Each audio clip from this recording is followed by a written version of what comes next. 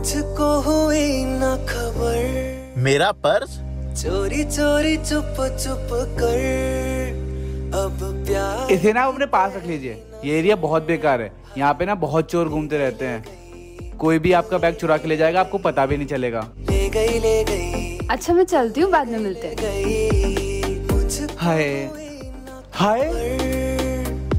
चोरी मेरा वॉलेट भाई, यहाँ से किसी को भागते हुए देखा क्या? मेरा वॉलेट चोरी हो गया यार।